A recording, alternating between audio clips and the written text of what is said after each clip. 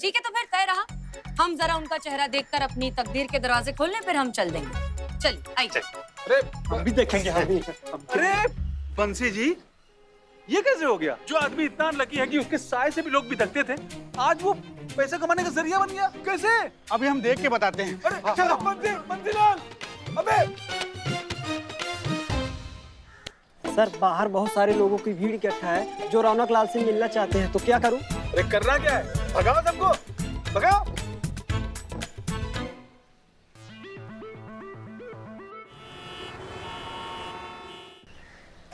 तो बताइए रौनक लाल जी का चेहरा देखने के बाद किसके साथ क्या क्या अच्छा हुआ?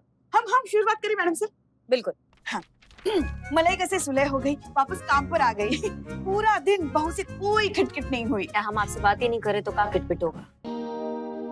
चार महीने से जिस बीसी का इंतज़ार कर रहे थे ना वो लग गई। हाँ, चार बातें चार हज़ार। आप बहुत बहुत बहुत धन्यवाद बहुत धन्यवाद। आपकी वजह से ये सब कुछ हुआ है। अरे रौनक चचा क्या बात है? मुबारक भाई मतलब कितना थैंक यू बोले आपको, जितना थैंक यू बोलेंगे, उतना कम है। आपका शक्ल देखने के बाद हमारे साथ इतना अच्छा अच्छा चीज़ हुआ, क्या बताएँ? सबसे पहला तो ये हुआ कि मैडम सर गुस्साई नहीं, किसी पे नहीं गुस्साई हम पर भी नहीं गुस्साई डांटी नहीं। दूसरा खुशी का बात ये हुआ कि जमाना पहले किसी को हम कर्जा दिए थे। पचास बार उसको फ़ोन किए बोले कि भाई पैसा वापस कर दो, पैसा वापस कर दो, कभी पैसा वापस नहीं किया। आज सामने से वो फ़ोन किया, यहाँ पर थाना के बाहर आकर उसके बाद से हमको पैसा दिया, तब गया है वापस। और तीसरा अच्छा चीज़ ये हुआ है कि संतु जी हमको वीडियो कॉल की थी और कही है कि तुम बहुत क्यूट लग रहे थे। तीन तीन अच्छा चीज़ हुआ तीन हज़ार रुपया सच में खुशी की बात है ना ये है ना? हम भी बोलेंगे हम भी हम भी हम भी। अरे नहीं नहीं नहीं रहने दो रहने दो। अ, आप? आज हमारी कार ने रोज से ज़्यादा माइलेज दिया। पिछले तीन दिन से घर के चूहे के लिए ट्रैप लगाया था। आज जाकर फंसा है वो। और जो हमारे साथ इतनी सारी बुरी चीज़ें पचास चीज़ें हुई है उसका क्या? अरे बोलिए ना बंशी जी आप खड़े हैं चुपचाप। हम पूरी लिस्ट लाए हैं मैडम जी। दीजिए दीजिए हमें दीजिए लिस्ट दीजिए। थोड़ा आराम से। अभी भी अटक आया था ना आपको?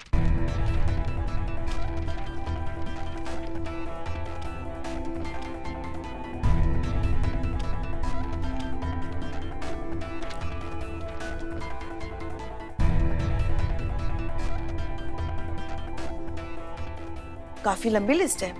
Madam sir. हाँ। तो हमें ऐसा लगता है कि वक्त आ गया है आप सबको सबक सिखाने का।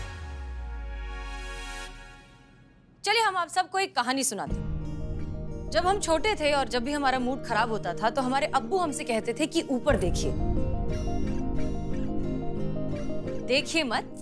कहते थे कि ऊपर देखिए बादलों में आपको जो है खरगोश दिखेगा या राक्षस दिखेगा या हाथी दिखेगा या चूहा दिखेगा। और कमाल की बात यह है कि हमें दिखाई भी देने लगता था। लेकिन सच बात हम सब जानते हैं कि बादलों में कभी भी हाथी, चूहे या घोड़े होते नहीं। वो होते दरअसल सिर्फ़ और सिर्फ़ हमारे जहन में, हमारे दिमाग में। हम जो देखना चाहते हैं, वही देखते हैं। फिर चाहे वो खूबसूरती हो, बदसूरती हो किस्मत हो, बदकिस्मत हो, या इंसान की रेपुटेशन हो, ये सब कुछ सिर्फ़ और सिर्फ़ हमारे दिमाग में होता है।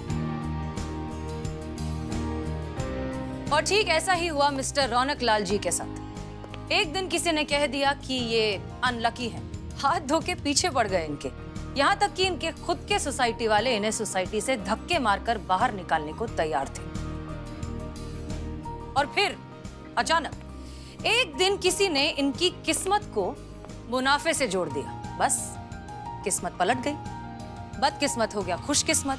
नेगेटिव हो गया पॉजिटिव करेला हो गया, चाशनी। तजुर्बा कहता है हमारे, किस्मत की स्याही से जो लिखते हैं अपने इरादे, उनके मुकद्दर के पन्ने कभी कोरे नहीं होते। लेकिन अपनी मेहनत से लिखते हैं जो इबारत मुकद्दर, वो कभी किस्मत के मारे नहीं होते। किस्मत होती है, मुकद्दर भी होता है। लेकिन उससे ऊपर होती है हमारी मेहनत हमारे इरादे और हमारा हौसला। है ना पुष्पा जी? जी मैडम सर। आपने बिल्कुल सही कहा। दोष रौनक लाल जी में नहीं था। हमारे नज़रिए में था। मैडम uh, सर आपके लिए भी एक गुड न्यूज़ है। भैंस चोर पकड़ा गया।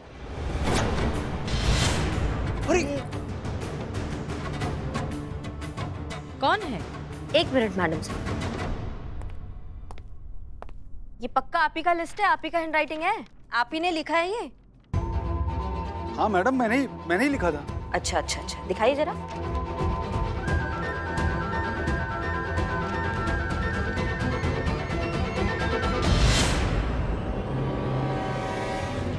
तो एक बात बताइए भाई साहब। ये भी आप ही ने लिखा होगा? कि आपका जो लिस्ट है उसके साथ जो ये हैंडराइटिंग है बिल्कुल मैच हो गई है। मैडम वो मैं, मैं ना आप ही ने लिखा है ना? इसका मतलब वो बुरखे वाली औरत भी आप ही हैं। और यहाँ से जो भैंस चोरी हुआ है वो आपके ऑर्डर पे हुआ है।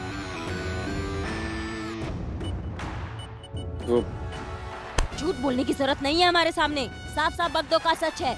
ये तो वो मार लगाएँगे वो मार लगाएँगे जब भी मुँह खोलोगे एक ही बात बोलोगे। दरोगा जी तो देखे बहुत लेकिन तुम सा ना बाला पर्सनल एक्सपीरियंस है हम्म।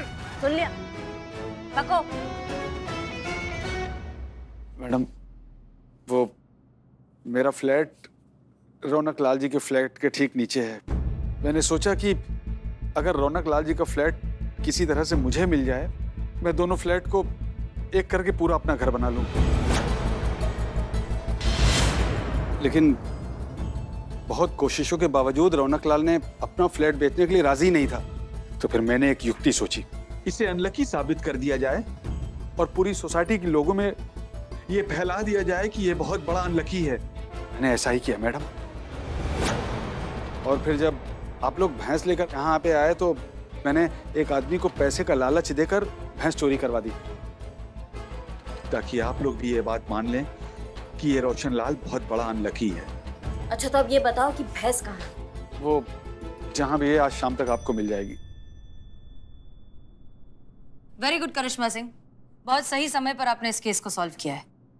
अब हमारी लाइन हाजिरी सच में कैंसिल हो जाएगी। मतलब मैडम सर अब- अब तक कैंसिल नहीं हुई थी? डीएसपी सर भी हमारे प्लान का हिस्सा थे। कमाल तो मैडम सर आप कर दी। मतलब इतना बवंडर होने के बाद भी आपने अपनी जज्बात का ऐसा छड़ी चलाया कि डीएसपी सर और नेताजी आपकी सारी बातें मान गए। कैसे नहीं मानते? जब भी जज्बात की छड़ी चलती है कोई ना कोई चमत्कार ज़रूर करती है। बिल्कुल। चीते? चलिए चचा। आइए ना उधर। चले। चल। मैडम सर आपका बहुत बहुत धन्यवाद। इतनी बड़ी मुसीबत को आपने कितनी आसानी से सुलझा दिया है। मैं अब साधारण इंसान की तरह जी सकता हूँ। ये सब आपके लिए बहुत बहुत धन्यवाद आपको। हमें इतनी बड़ी खुशी देने के लिए आपके और आपकी पूरी टीम के लिए एक सैल्यूट तो बनता है।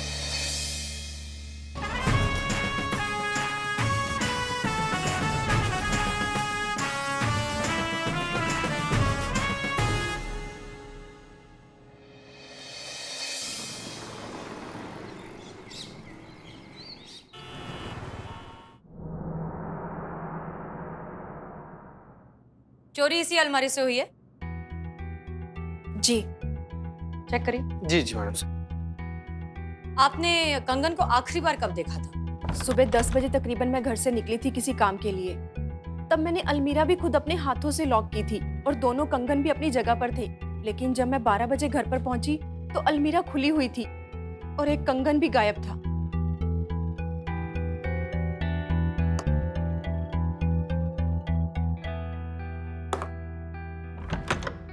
मैडम कंगन बहुत ज़्यादा महँगा था क्या? अरे साहब महँगा था इसलिए तो पुलिस कंप्लेंट की है। सत्तर हज़ार का कंगन था सत्तर हज़ार। चाची ऐसा तो नहीं है कि आप कहीं रख कर भूल गई हो या फिर चाचा आप किसी और को देकर भूल गए हो ऐसा कुछ मतलब? इतनी महँगी चीज़ भला कोई किसी को देकर या कहीं रखकर भूलता है क्या? अच्छा अच्छा अच्छा ठीक है ठीक है। एक बात बताइए कंगन के अलावा कुछ और चोरी हुआ है? जी नहीं। पर लेकिन आपके पास घर में और ज्वेलरी है ना? जी हाँ बहुत सारी ज्वेलरी है। लेकिन चोरी सिर्फ़ कंगन ही हुआ है। जी सिर्फ़ एक कंगन। हम्म हम्म, हम्म। सीता चेक किया? हाँ मैडम सर पूरा का पूरा वार्डरोब चेक कर लिए। सारा का सारा सामान वैसे का वैसे पड़ा हुआ खाली कंगन गायब। दैट्स स्ट्रेंज अच्छा मतलब चोरी जो है दस और बारह के बीच हुई है जब आप घर पर नहीं थे। जी। ठीक है। उस वक्त उस दौरान कौन आया था घर पे? यही दोनों आए थे। ये सुरीली है मेड है यहाँ पे। सुधा के बाहर जाने के बाद यही आई थी कमरे की साफ़ सफ़ाई करने। अरे मैडम हम तो रोज की तरह आए। कमरे का झाड़ू पोछा किया और निकल गए। और ये कौन है? ये हमारा ड्राइवर है गोपाल। मैम जब मैं गाड़ी की चाबी लेने आया था तो साहब खुद मौजूद थे। अरे हाँ लेकिन बीच में थोड़ी देर के लिए मैं वॉशरूम गया था। मेरे पीछे तो तुम अकेले ही थे यहाँ पे। माफ़ कीजिएगा साहब गरीब हूँ लेकिन चोर नहीं। बाहर गुलजार साहब का मुर्गा क्या डायलॉग मारा? चुप रहो ना यार जितना सवाल किया उतना ही का जब बोलो बोलो बोलो मैंने से पूछ रहे बोलो बोलो। आ, कोई और किसी और जिस पर आपको शक हो सकता है? पर इनके अलावा तो कोई आता जाता ही नहीं है हमारे घर पर।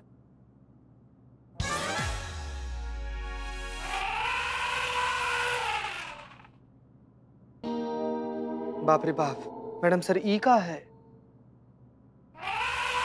अरे वाह पिज्जा हमारा फेवरेट बैठे रहो बैठे रहो। अम, क्या नाम है आपका? बंटी। बंटी एक बात बताइए जब ये चोरी हो रही थी उस वक्त आप कहाँ थे? मैं वो आ, याद आया मैं उस समय अपने रूम में था और वीडियो गेम खेल रहा था। अच्छा। देखा? फिर वही इस बच्चे को ना हर वक्त बस पिज्जा बर्गर फास्ट फ़ूड और वीडियो गेम चाहिए। अरे कितनी बार कहा तुम्हें उसे पैसे मत दिया करो। आदतें बिगड़ रही है उसकी। आदतें मेरी वजह से नहीं बिगड़ रही। आदतें आपकी वजह से बिगड़ रही हैं और पैसे मैं नहीं देती आप खुद उसे देते हो। अरे इतना फास्ट फ़ूड खाना ठीक नहीं है बच्चों के लिए। तो आप क्या सोच रहे हो? कि इसमें मेरी गलती है? मैं उसे बिगाड़ रही हूँ। कौन माँ चाहेगी अपने बच्चे को इस तरह से फास्ट फ़ूड खिलाना जिसकी वजह से उसकी सेहत खराब हो? बस चाची बस चाचा क्या कर रहे हैं आप लोग? मैडम सर खड़ी है यहाँ पर थोड़ा तो लिहाज कीजिए भाई। लड़े जा रहे हैं आप लोग। Sorry sorry it's okay it's okay जैसे ही हमें चोर के बारे में कुछ भी पता चलेगा हम आपको बताएँगे। चलिए। आइए मैडम सर। हटिए मैडम भानुमती जी हटिए। आइए madam. Madam sir madam sir madam sir madam हमको लगता है ड्राइवर चोर है। नहीं हमें लगता है कि ये काम घर ही के किसी आदमी ने किया है। ऐसा कहीं लगता है आपको मैडम एक बार सोच कर देखो घर का सारा सामान वैसा का वैसा है। उसमें और भी ज्वेलरी और भी कीमती सामान होगा वो क्यों नहीं चुराया? अगर कोई चोर होता या अगर कोई इनका ड्राइवर या वो बाई होती तो फिर वो सारा का सारा सामान चुराते ना? सिर्फ़ एक कंगन क्यों चुराते? मैडम सर इसका मतलब ये काम घर के ही किसी आदमी का है। पर मैडम सर ये हमें एक तो- आदमी पर शक है। किस पर? तुम सर्वेलेंस निकालो हम पता करते ठीक है मैडम। चल।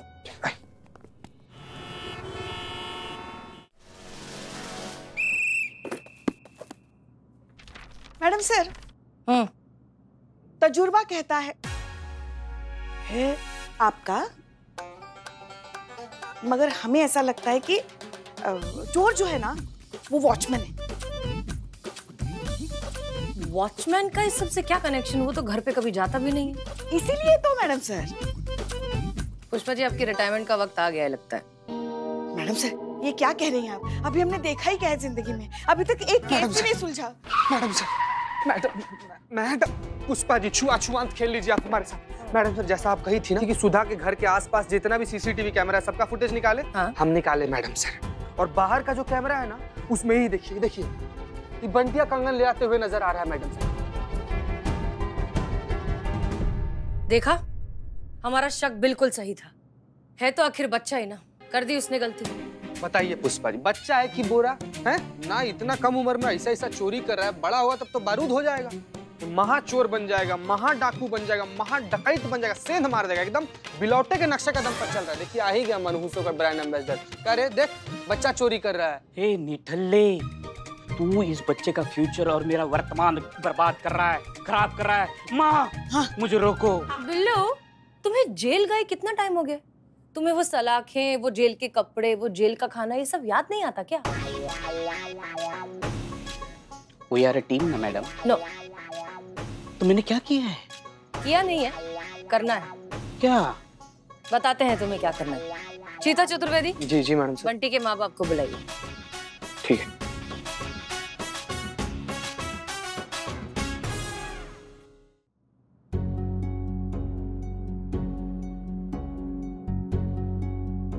जी तो जैसा कि अभी अभी आपने देखा सीसीटीवी फुटेज में साफ़ दिख रहा है कि आपका कंगन दरअसल आपके बेटे ने ही चुराया है। जाती तौर पर हमारा मानना है कि घर का माहौल, परवरिश, ये तय करता है कि बच्चा बड़ा होकर इंसान कैसा बनेगा। अब आप ही सोचिए कि अगर आपका बेटा इस कच्ची उम्र में ऐसी हरकतें कर रहा है तो फिर बड़े होकर उसका फ्यूचर क्या होने वाला है? हम बताते हैं क्या होगा। बिल्लू चंपत, आइए।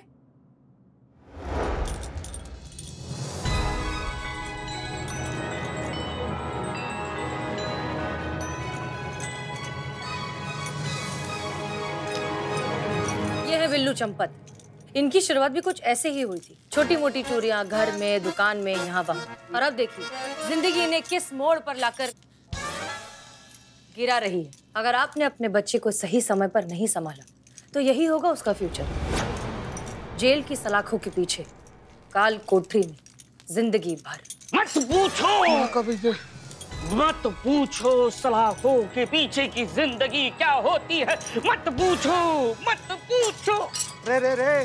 जैसे नरक की आग में तलते हुए पकोड़े भूख की आग से पेट पे पड़ते हुए हथौड़े सुबह शाम जेलर के खाते हैं कोड़े। इतना मारा इतना मारा कि मेरे सर पे एक बाल तक नहीं बचा। और खाने में पानी की दाल और कंकड़ों में चावल थोड़े। माँ! ओरिजिन माँ बाबूजी का हो तुम बहुत याद आ रही है। भूख से तड़प तड़प के मर रहे हैं हम।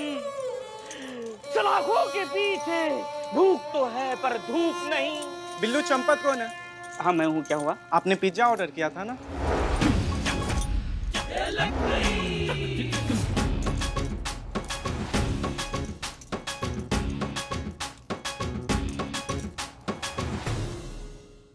व्हाट अ टाइमिंग ये रहा आपका पिज्जा. थैंक यू छह महीने में एक बार कभी कभी हम ये सहूलियत दे देते हैं।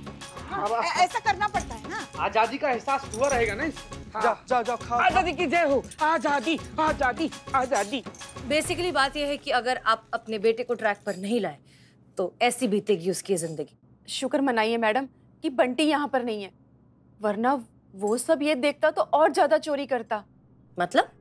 मतलब ये है मैडम कि हमारे बेटे बंटी को फास्ट फ़ूड खाने का शौक है। शौक। शौक तो नॉर्मल बच्चों को होता है साहब लेकिन हमारे बंटी को फास्ट फ़ूड खाने का एडिक्शन है एडिक्शन एकदम पागलपन। और तो और अगर आधा खाने से कम कोई टोक दे तो एब नॉर्मल सा हो जाता है। जब आप ये सब कुछ जानते हैं तो फिर उसे रोकते क्यों नहीं? हाँ। रोका ना तभी तो ये नौबत आई है। मैं पूरे विश्वास के साथ कह सकती हूँ कि उसने ना ये चोरी भी ना इसी वजह से की है। देखिए प्लीज़ प्लीज़ रिलैक्स हर मुश्किल का कोई ना कोई सोल्यूशन हमेशा होता है। आप एक काम कीजिए आप बंटी को लेकर यहाँ थाने आइए। पुष्पा जी उसकी काउंसलिंग करेंगे। हो सकता है उससे कुछ फ़र्क पड़ जाए। Thank you thank you